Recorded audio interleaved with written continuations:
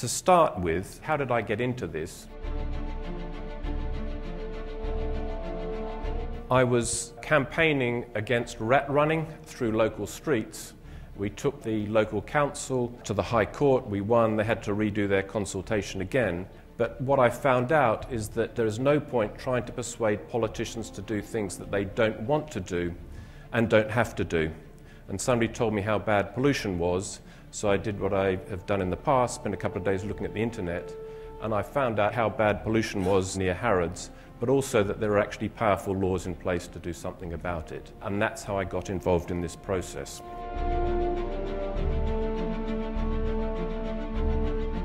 We needed a mission, and that is the mission to achieve full compliance with World Health Organization guidelines for air quality throughout London and elsewhere. So it's very much a health mission, not a legal mission, although we do use the powerful laws in place.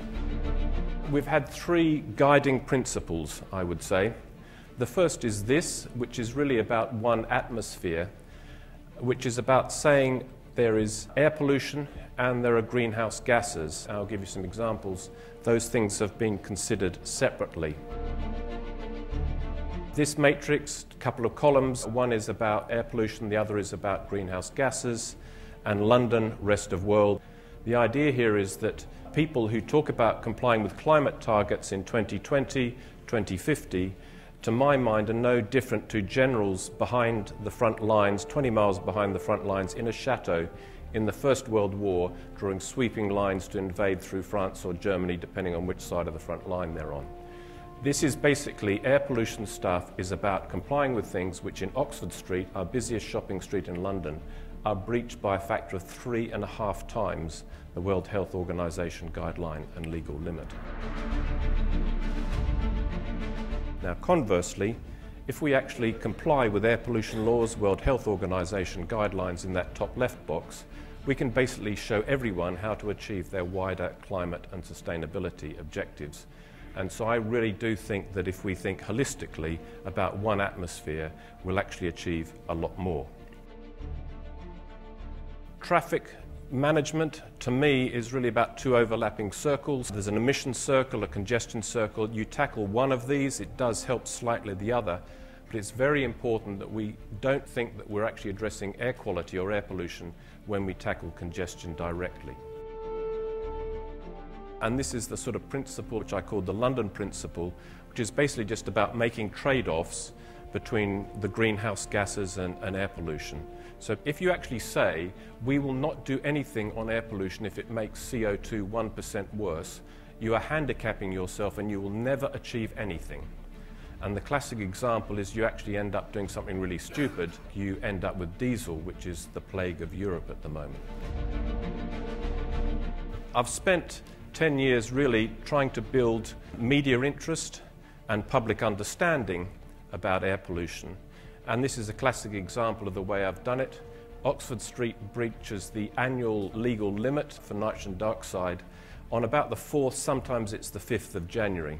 So that's me standing there with the TV crew at the end of the first week in January highlighting this problem. Quite different to fighting rat running traffic. Here I've just got to say the government's breached the, the air pollution laws again.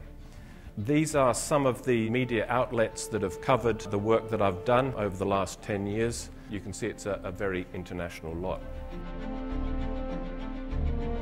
What I have found in building public understanding is that it's actually an awful lot easier to build public understanding and warn the public. And you can see here a, a chap in London, a cyclist who's uh, wearing a mask, I've done a sort of informal survey, and I think one in 20 cyclists in London now wears a mask.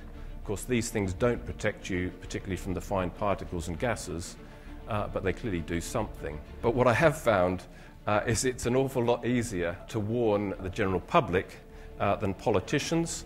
I don't know whether they don't want to listen or too busy, but this is a survey I've done a couple of times through a parliamentary polling organisation. Survey of 100 MPs. They have been asked to rank the five public health risks, so going from smoking, obesity, alcoholism, road traffic accidents, and air pollution. All of the parties ranked air pollution at least fourth out of those five. And the Conservatives, who are currently the government, ranked air pollution um, fifth, which is behind road traffic accidents. And of course, statistically speaking, in London, in the UK, in Europe, in fact, about 10 times as many people are killed statistically from air pollution as road traffic accidents. And that is just from PM 2.5. And we'll talk more about nitrogen dioxide. So the politicians, frankly, haven't got a clue. Now, that is really quite troubling, particularly after 10 years.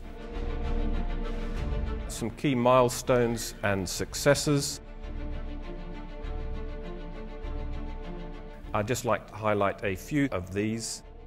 It was getting started. I accused, I've been very even handed about this campaign. I accused the previous government, Labour government, a couple of governments ago, of one of the biggest public health cover ups uh, or failings for not disclosing the number of attributable deaths from long term exposure to PM 2.5. That was a very brave moment when I sent that off, but it was actually investigated by three parliamentary inquiries and my numbers were confirmed.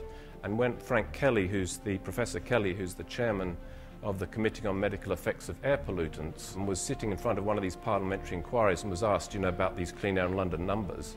And he said, well, they're about right. You've never seen 10 MPs sit bolt upright in a room before in your life, because they, of course, were expecting him to say, well, the guy's a lunatic. The Olympics, a, a tremendous focus. We achieved a lot there. And that's really when we got a lot of NGOs involved. So there were really only two or three NGOs, but really there are now probably 100 organisations campaigning throughout the UK. The Europeans Clean Air Policy Package in 2013 had two um, objectives. One is to achieve full compliance with air pollution laws throughout Europe by uh, 2020.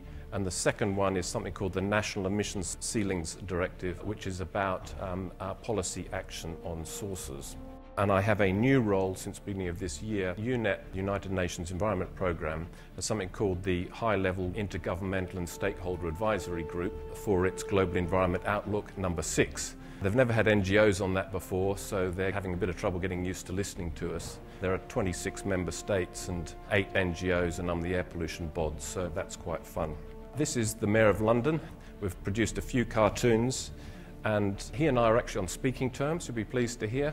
Campaigning is quite a subtle art. The mayor can't do anything unless there's somebody actually saying there's a big problem here, do something. And then what I typically trot out with is he hasn't gone far enough, fast enough. And of course, he loves that.